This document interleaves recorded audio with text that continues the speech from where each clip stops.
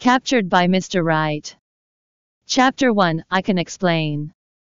In the dead of night, An Xiaoxiao's agile and sneaky elven figure appeared at a bedroom door which was ingeniously crafted. With a light turn on the door knob, the door opened. She took a deep breath, suppressing the nervousness in her heart, and tiptoed on the exquisite carpet with her bare feet. It was dark, pitch dark, An Xiaoxiao turned on her phone and walked further inside using the faint light on the screen and eventually stopped by the bedside. The man on the bed was sleeping soundly. Even in his sleep, he looked as dignified as an emperor, shrouded by a layer of cold and domineering aura. An Xiaoxiao couldn't help but swallow a lump in her throat. She mumbled to herself that there was absolutely no retreat since she was already there. With the help of the faint light, she gritted her teeth and climbed on the bed, moving lightly as if she had graduated from a school for thieves. The man on the bed was motionless. Seeing that, it made Xia a little at ease and a lot bolder. She reached forward and gently lifted the quilt on the man. Her trembling hands returned to his waist as she carefully undid the waist tie of his robe and separated the lapels. An Xiaoxiao's dark eyes instantly widened and her delicate small face flushed. The shyness on her face was palpable but she couldn't shift her gaze away. It was really an eye-opening experience for her.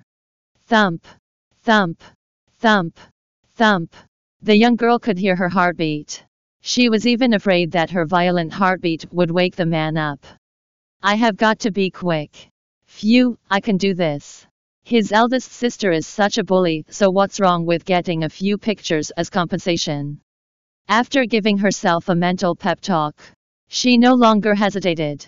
Immediately, she switched on the camera and aimed at the man's naked body. Just as her finger was a few millimeters away from the shutter, her wrist suddenly tensed. Out of the blue, she found herself pressed on the bed and underneath the man. Before Xia could react, the sleeping man had already confined her, and she was being subjected to his death stare. Tears suddenly welled up in her eyes. To be caught red-handed. Does God want me dead? She really wanted to cry out loud. Her pink cherry blossom-like small mouth opened as she stuttered. Zhan Lengrui. No. Uncle. I I can explain. You can't get enough of it so you want to take pictures to keep as a souvenir. Huh? Zhan Lengrui's low and icy voice sounded. However, there was a trace of teasing in his tone. She was speechless. It was the most awkward moment in her life as a deep wave of despair washed over her. No, oh, oh. Not at all. I took the pictures because I wanted to An Xiaoxiao bit the bottom of her lips, not daring to look into his eyes. After all, being in that position was absolutely embarrassing. And she was a little afraid.